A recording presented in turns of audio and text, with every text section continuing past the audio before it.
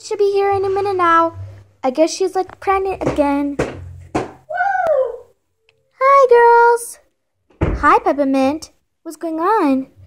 Uh oh. I feel like I'm pregnant again. Uh oh. We better take it to the hospital. At the hospital? Ugh. How do I have to be in bed? I'm so bored. Just sit tight, Peppermint. It's gonna be okay. I promise. I know, but who's just gonna take care of me while I'm just laying down here?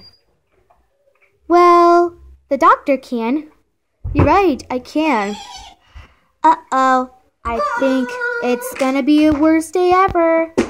Uh oh, my baby's coming. My baby, my baby, my baby. My baby, my baby, my baby, my baby.